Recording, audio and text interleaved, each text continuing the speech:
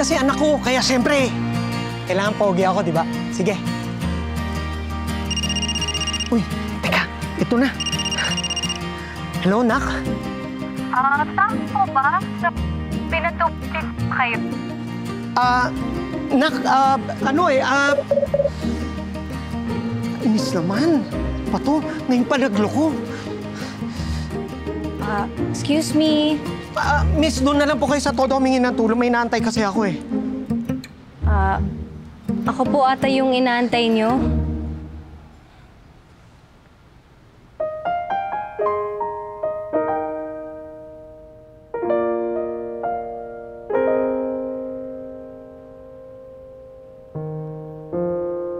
Nak! Welcome home. Ang, ang laki-laki mo na. Ay, para sa'yo pala. Salamat po. Ay, tara, tara. Pasok tayo sa loob. Tara, anak. Tara, tara.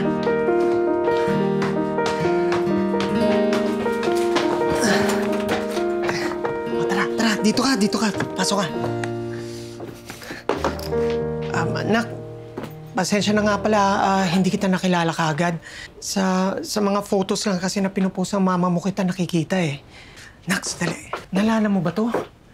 To, paborito mo to nung bata ka pa. Nagwawala ka pa nga kapag nilalaban ko to. ano bang, ano bang gusto mong gawin? Ah, pwede tayong kumain sa labas. Umamasyal sa mall. Marami pa akong kailangan gawin eh. Para sa... Para sa flight ko. Ah, siguro sa ibang araw na lang po. Ah, ganun ba? Sige, sige. No problem.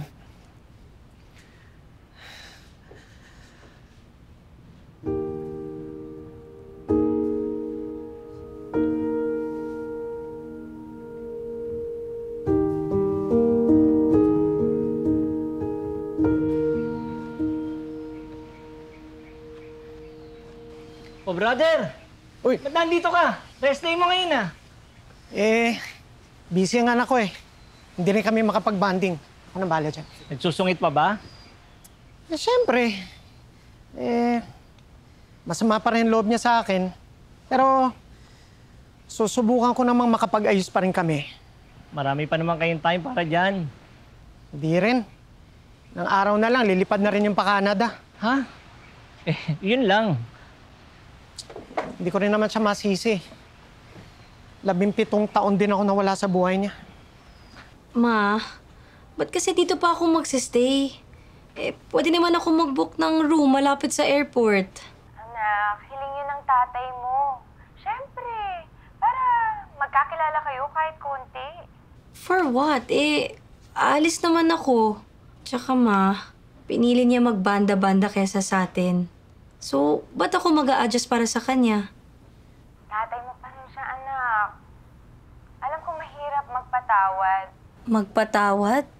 In one week? Ah, Parang imposible yun. Anak naman, baka pwede mong subukan.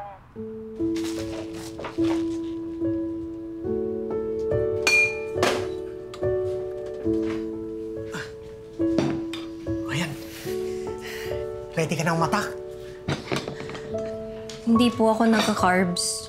Eh, ako kasi puro carbs kaya puro tabs. O tara, kain na tayo.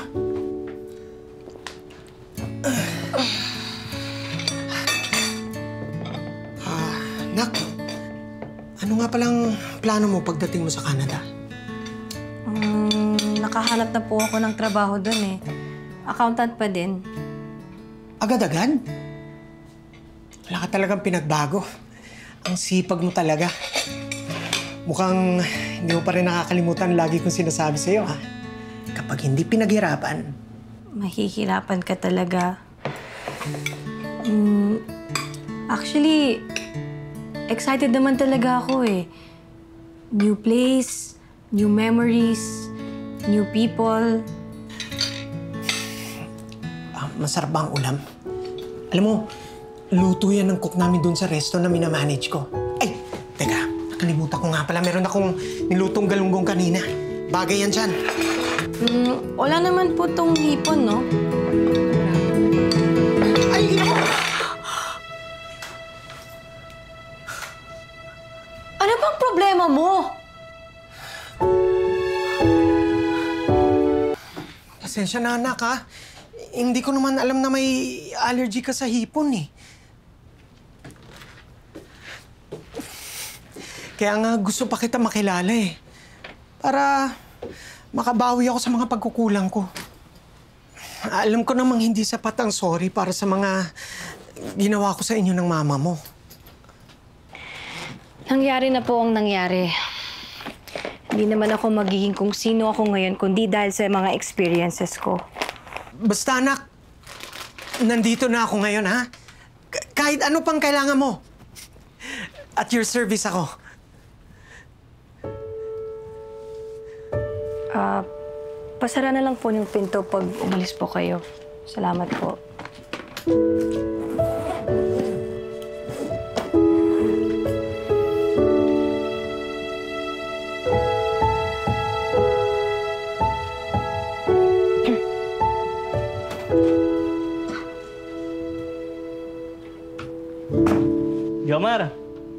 Bumalik ka agad ha. Marami pa tayong gagawin ha. Yes, sir. Oo. Brother, kamusta kayo na anak mo? Oh, let's brother. Alam mo, brother, walang manual ang pagiging ama. Tignan mo ako. Apat na naging anak ko, pero hanggang ngayon, natututo pa rin ako. Tama, brother. Diskarte lang talaga. Makukuha ko din loob ng anak ko. Bibigyan ko siya ng regalo. Kahit maliit ang halaga, nahalaga pa rin yan. Ah, bibili ko para sa'yo. Para komportable ka sa flight mo. Gawin ko na rin nga pala yung electric fan mo. Alam ko hindi gumagana eh. Tutulungan ko siya sa mga bagay na di ko noon nagawa para sa kanya. Papakita ko sa kanya na may interes ako sa buhay niya. Nga palang ginagawa ng accountant? Wala akong alam sa math-math na yan eh. Hindi lang naman po siya about math. Um, inaayos at pinapasa ko ang tax returns ng employees. Alam mo nak, naalala ko nung bata ka, gusto mong maging bokalista. Di ba? Sabi mo pa nga, ah, akong magigitara para sa'yo. Kumakanta ka pa ba? Hindi na po eh. dapat hindi ka nawawala ng oras para gawin yung mga bagay na gusto mo. Oo, nandyan yung trabaho para sa mga pangangailangan mo. Pero gawin mo pa rin kung ano yung hinahanap ng puso mo. Dahil yun ang bubuhay sa'yo.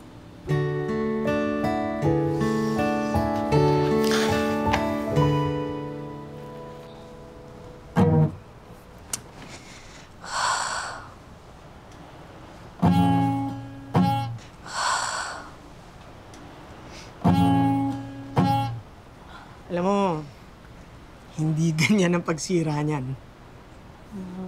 Sorry po. Pinakialaman ko na po eh. Trinay ko lang naman. Hindi, hindi. Sige, sige. Sige, anak. Subukan mo. Tuloy mo lang. Tuloy mo lang yan. Ah, alam mo pa ba yung mga ibang chords? Subukan mo muna yung, yung G chord. Yan. Tapos kailangan yung ano ah, yung, yung mga daliri mo na nasa fret, kailangan madiin yan. Tapos yung pinangsastrum mo, kailangan malambot lang, swabe lang. Tapos, ah, subukan mo naman yung, ah, yung strumming pattern. Ah, simple lang yon. Down, down, down, up, tapos down. Yan. Galing. Kuha mo na. Fast learner. Araneta! Alam mo, ah, singlit ka lang ng gasol noon. Pero, ikaw ang pinakamalakas na nag-cheer sa akin noon.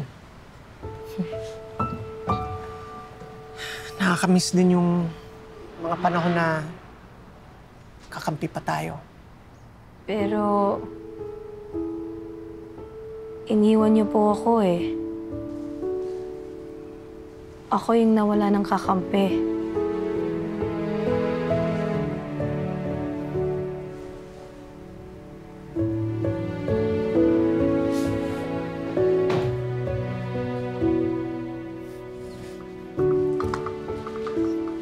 Ah, Nak. Nak, um, dinalang kita ng orange juice dahil baka nauuhaw ka kasi.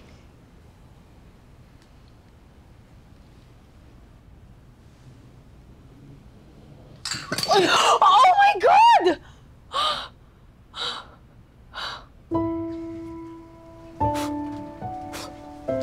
Hayaan niyo na. May tumawag na ako. Ako na bahala dito. Ah, nak, sama na lang kita. Nak, nak, sama na lang kita. Stop! Stop trying to help. Hindi mababalik ang pagpipilit mong tumulong sa akin or makipag-bonding sa akin ang 17 years na nawala ka. Nak, Opo, kayo nagbigay ng buhay sa akin. At sinustentuhan mo ako growing up, pero... Grateful ako, pero... eh, iniwan mo ako eh. Ang huling memory ko sa'yo, sabi mo sa akin, bibili ka lang ng bigas.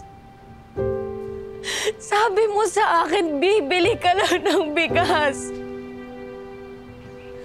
Tapos di na kita nakita.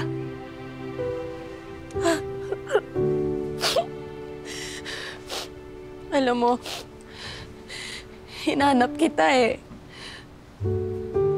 Umaasa ako na one day, makikita kita. Sasabihin ko, Tay, tara uwi na tayo. Wala.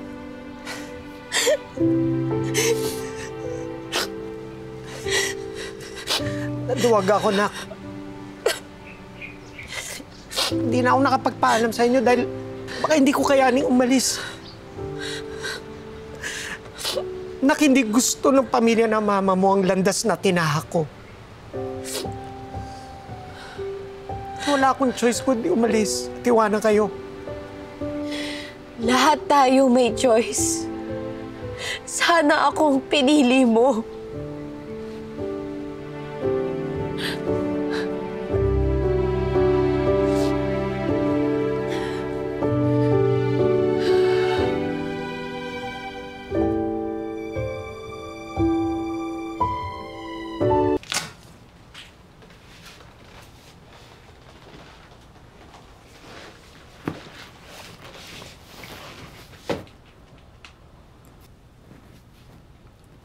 Pasensya na, anak, ha?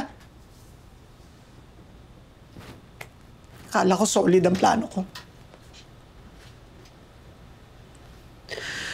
Tutugtog ako. Sisikat. Tapos may mukha ako may haharap sa pamilya ng mama mo. Sa inyo. Pero... Iba pala ang balak ng tadhana eh. Heto ako.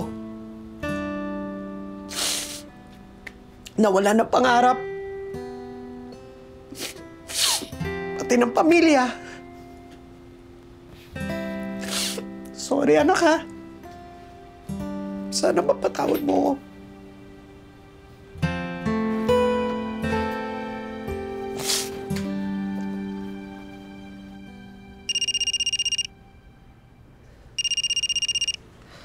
Brother, napatawag ka.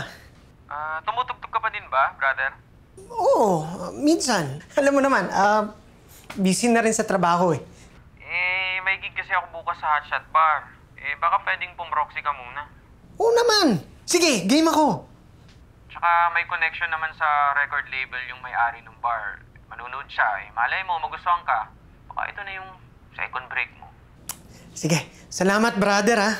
Sige ah, asahan kita ah. Oo, sige.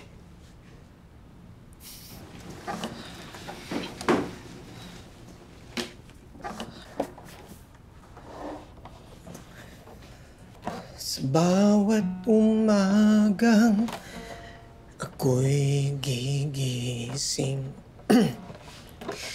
Ikaw ang hanap ko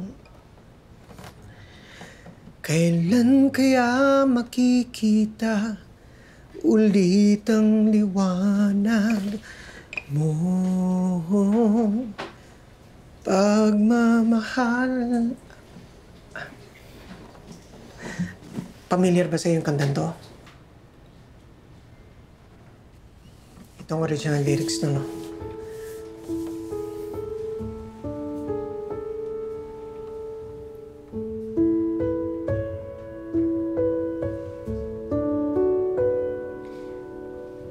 Pinadala ko to sa'yo nung 14th birthday ko. Sabi mo, ah, gawan ko ng melody. Gusto mo, ituro ko sa'yo.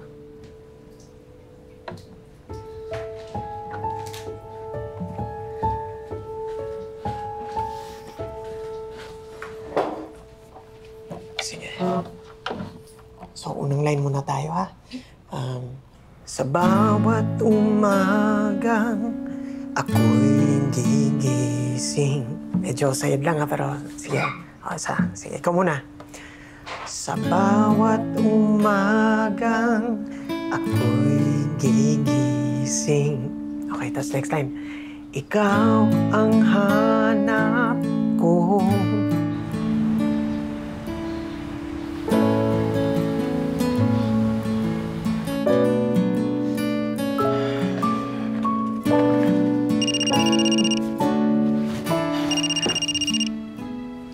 Oh, nak. Late na po kasi ako eh. Tsaka nasiraan po kasi yung sinasakyan ko. Mahahatid niyo po ba ako sa agency?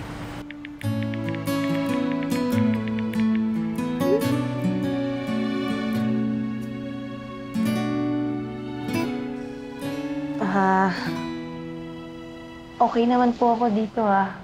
Baka may iba po kayong lakad. Okay lang, nak. Dito lang ako. Sasamahan kita. Alam mo, naalala ko, ganitong ganito ang tsura ng lying-in clinic nung pinanganak ka. Kabadong-kabado nga ako noon eh. Pero,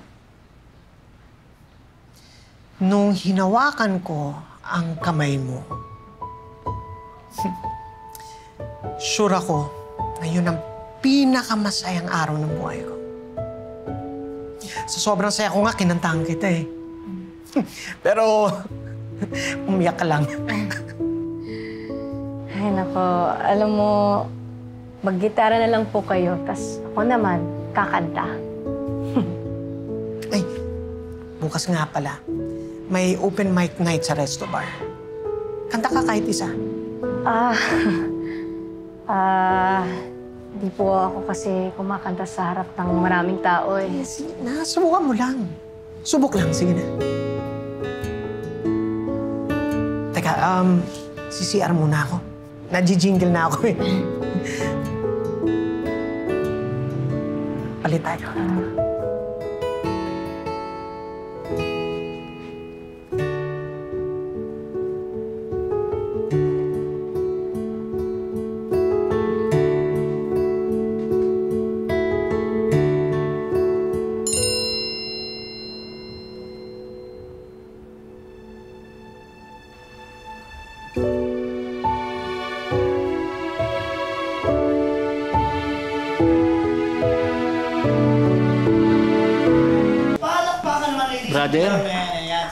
darating yung anak mo?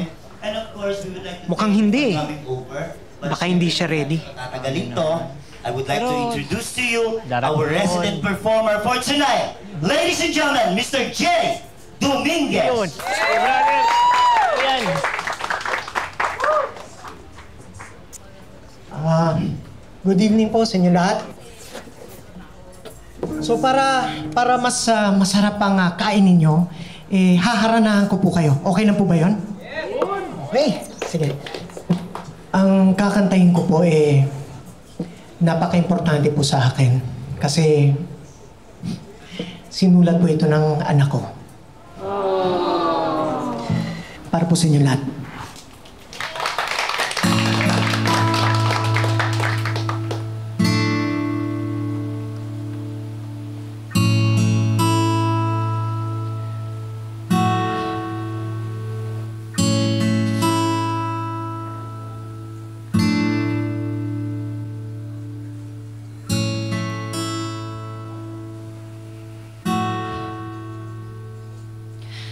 Sa bawat umagang ako'y gigising Ikaw ang hanap ko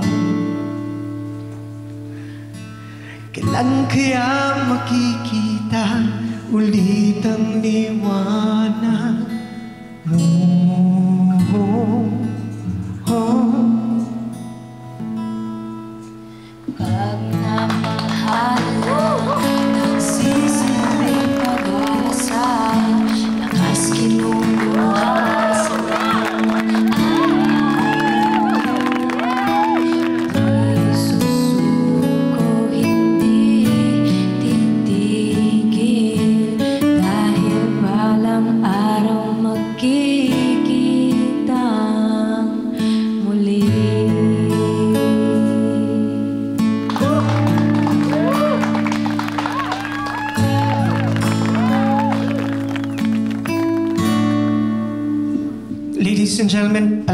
naman po natin ang aking ah, napakaganda at napaka-talented na anak, si Michelle.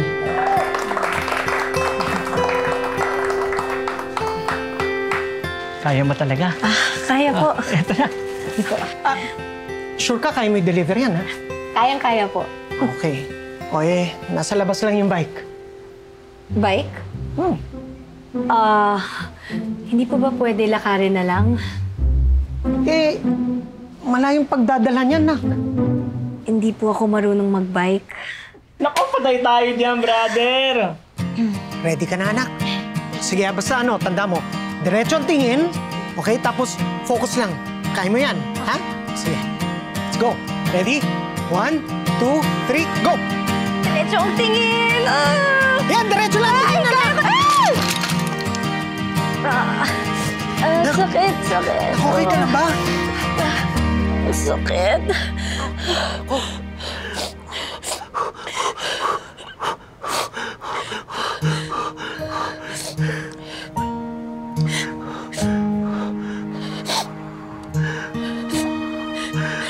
Tay.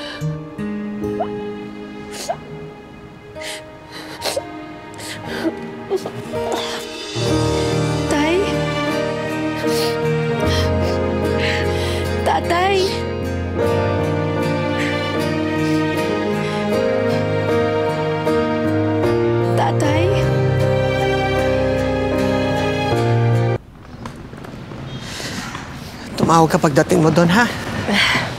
Tsaka huwag ka masyadong kumain sa aeroplano. Medyo mahirap mag number two. Ah, tsaka, uy, yung passport mo nga pala, baka naiwan mo, dala mo ba? Ah, ang hirap ng, hirap nung magpaalam tayo, tapos nagdadrama tayo, tapos babalik ka lang pala. Opo, Tay. Naayos ko na po lahat. Tay, salamat ha. Para saan? Kasi sa linggong to, nagkaroon ulit ako ng chance na magkatatay. Medyo late nga lang ako. Pero at least dumating.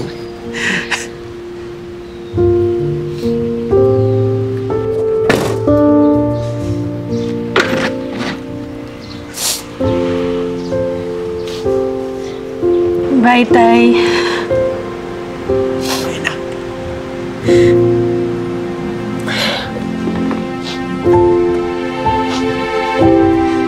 Na, napupuwing na naman ako. Sige, malis ka na. Baka malate, pa, ka pa sa flight mo eh. Kikita pa tayo, ha? Pangako yan. Sige, sige.